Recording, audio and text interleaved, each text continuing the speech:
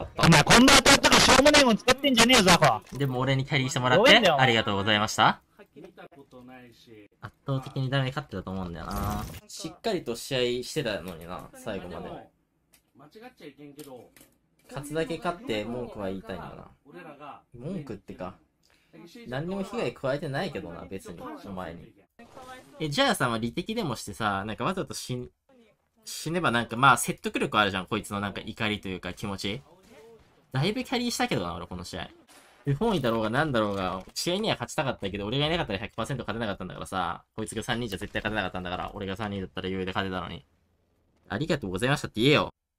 ザコだったよ。チート、チーギオクタン君必死で草。弱いのに吠えんなよ。じゃあリナ一緒にやろうや。一緒にやるの？一緒にやるの？え、怠慢しようやとかじゃなくて？コンバーターバカにしてんのに一緒にやるの？弱いかどうかは弱いんだからよ。じゃあ、スコアボード見してよ。え見せてよ逆に。俺見てないもん一回も。配信で、配信お前スコアなんで見ないの？なんで見ないのって言われても見てないから。弱いから？弱いから？なんで見ないって弱いからになるの？おかしいでしょ君言ってること普通に。いや、お前弱いんだよ。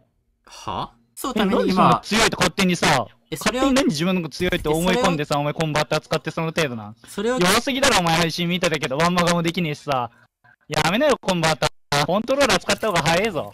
それを今から競うためにはリアランクやろって言われたと思うんだけど、まあ、弱いんだから。頑張ろうや。何この人。コンバーター使うなとか言ってたのに、自らマッチに誘うとか思考回路バグってるだろう。いや、本当にそうだよね。絶対そうはならないと思うんで。言われたことないもん、俺、そんなこと。コンバーターなんだろ？俺よりダメ出せんだろ？じゃあ出せよってね。音割れてるってさっきから。じゃあ下げろよ、お前が。いや、音割れてるんだから、明らかにお前の問題なんだから、おお前が前が下げろよ。お前、ザコがうるせえよ。黙ってろよ。音割れて、お前にさ、準拠して下げたら他の人の音量が下がっちゃうんだよ。これがベストなのに。